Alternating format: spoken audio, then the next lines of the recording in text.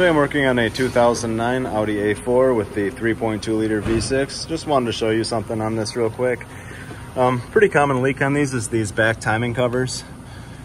As you can see, I have a rag here. Um, pretty, not that bad to get to on the engine with the 3.2 liter. If it's a S4 or something with a three liter supercharged engine, it's much, even though it looks like the, pretty much the same kind of thing, um, it has secondary air injection um, gate valves back there that block the covers. And to get those off, you have to pull the heat shield that goes around them and then get the catalytic converter out of the way. And it ends up being a much, much larger job. But to do it on a 3.2, you can get in there and do the whole job from the top.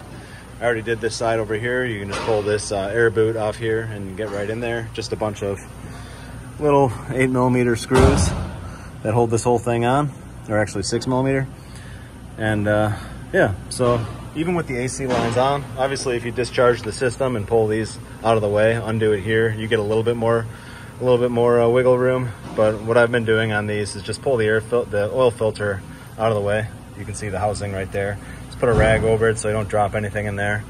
Pull this breather hose off and then you can just get in here and release all these little screws with a 10 millimeter um, socket and a quarter inch drive ratchet and kind of just work it like this down here pull it off. The uh, most time consuming part of the whole job will be just be cleaning the old silicone off the sealing surface here. I'm still not 100% done, but you have to get that all off and nice and dry before you uh, silicone the cover back on. Um, they're not very expensive. Sometimes I recommend just replacing the cover, just you know, being that it, it might be distorted a little bit or even warped slightly from removing it. But usually you can get away with just uh, cleaning the old silicone off and scuffing up the surface and cleaning this up real good and just siliconing it back on. So, um, also what I would say, if you have a large oil leak in the back of one of these motors, and it looks like it's dripping from, from the bottom side, you can see the lower edge of the timing cover looks like it's wet. Also look real good while you're in here at the uh, oil filter housing gasket.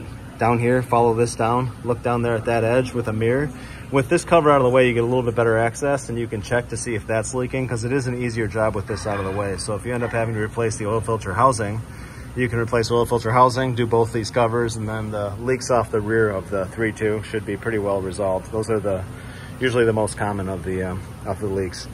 So that's it. Thanks for watching.